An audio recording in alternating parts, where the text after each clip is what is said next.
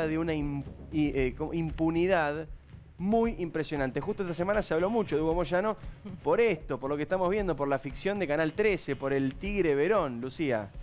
Diego, eh, en una semana caliente para Hugo y Pablo Moyano, para Pablo Moyano por sus complicaciones judiciales, pero más habló de Hugo Moyano por esta ficción que encabeza eh, Julio Chávez, que se llama el Tigre Verón, y que por supuesto habla de un sindicalista, de un sindicalista corrupto, de un sindicalista que lava dinero.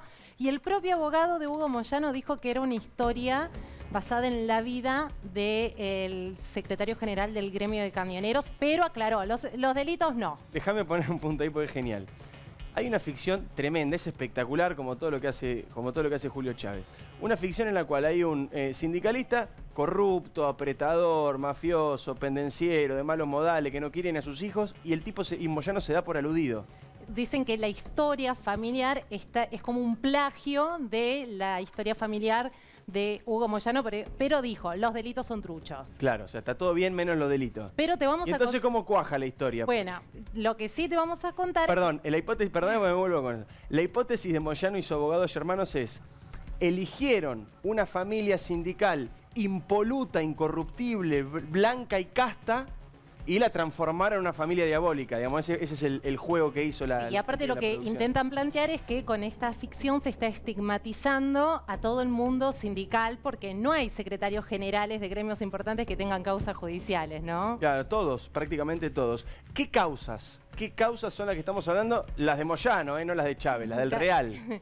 Hugo Moyano, Pablo Moyano, ya la semana pasada un poco te contamos. Pablo Moyano en pocos meses le van a pedir que vaya a juicio oral para que expliquen la defraudación millonaria al club independiente. Pero mira estos delitos, son aquellos por los cuales está siendo investigado Hugo Moyano. Lavado de dinero, asociación ilícita y defraudación.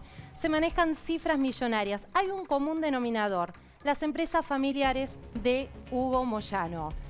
Acá tenés compra de terrenos en la falda, esto en Córdoba. Esta, Diego, fue la única vez que Hugo Moyano tuvo que enfrentarse a un juez en una indagatoria. Increíble, es increíble. Pero lo llamativo de esto es que ellos dijeron que fue un acto voluntario. Y el juez tuvo que salir a aclarar y dijo, no, señor, esto no fue un acto voluntario. Yo lo llamé a indagatoria y usted tuvo que presentarse ante la justicia en Córdoba lavado de dinero. Tiene cuatro causas más, Hugo Moyano. Entre otras cosas, se lo investiga por asociación ilícita y defraudación al Club Independiente junto a Pablo Moyano. Y en esta, lavado eh, de dinero y enriquecimiento ilícito por la compra de una, de una eh, casa en Parque Leloy. Pero son cinco las causas judiciales que enfrenta Hugo Moyano. Una sola vez fue indagatoria, pero por el Club Independiente puede tener novedades y también tendría que enfrentar en breve a la justicia nuevamente.